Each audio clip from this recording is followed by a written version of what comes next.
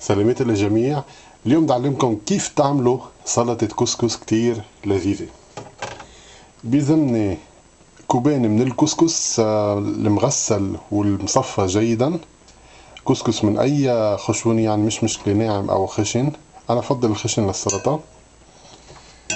بضيف له ربع كوب من البقدونس المغسلة والمصفاية جيدا والمعصورة جيدا. نفس الشي بصل ربع كوب من البصل. كمان مغسل ومصفى جيدا ومعصور. ربع كوب من الجزر المبروش.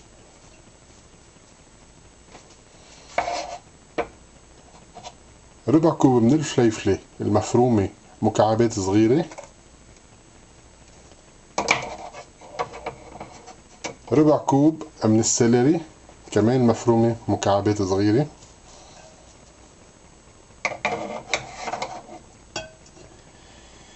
بضيف لهم نصف كوب من زيت الزيتون.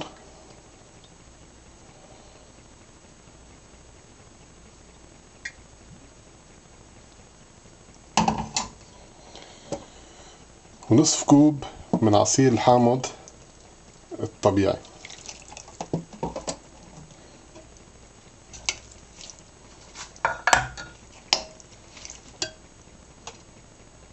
بحط لهم رشة ملح حسب الذوق.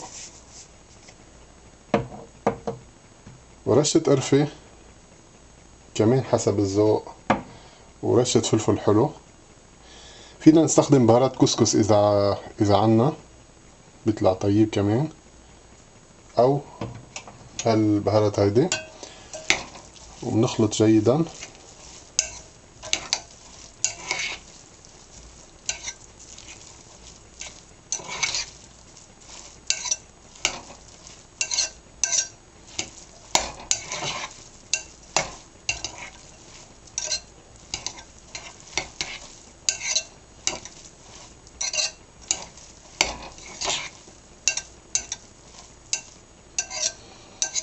دايما بالسلطة إن كانت تبولة أو كسكس كل شي رطوبة لازم يكون من زيت الزيتون أو الحامض أو الخضار.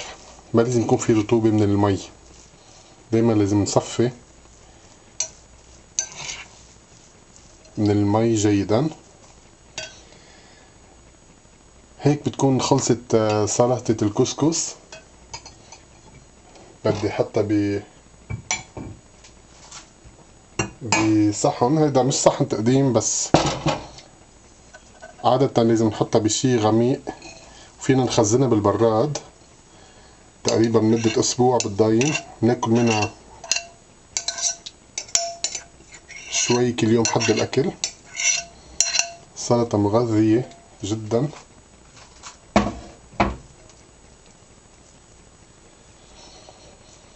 هيدي سلطة كتير صارت مشهورة عالميا. بكل ال بكل السوبر ماركت بأمريكا وكندا وأوروبا بيقدموها. كتير مشهورة. ومنحيي شعب المغرب العربي الجزائر وتونس. والمغرب طبعا على هالأكلة اللي اتشهرت عالميا اللي بنفتخر فيها. آه بدي زينها بدي أحط لها بندورة. فينا ما نحط بندوره بس هيك أنا خيار مني. يعني لأنها سلطة بتعطيها منظر حلو. حط لها شوي. عادة ما بيحطوا لها بندوره هيدي السلطة. وبحط لها كمان بدي أحط حواليها جزر مبروش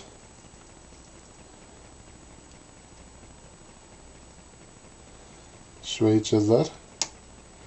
وشوية بقدونس. على الوش.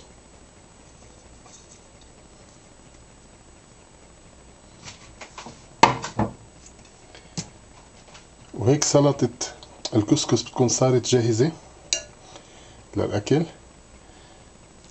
بدي دوقها.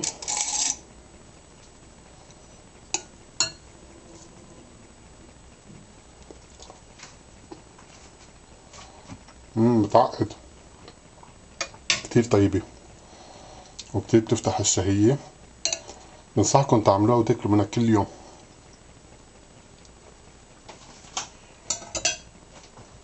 هيدا فينا نحطه بالبراد. آه أنا بنصحكم تستخدموا هيك نوع من ال من الأواني للسلطة لأنه فيكم تغطوها وتحطوها بالبراد تستخدموها.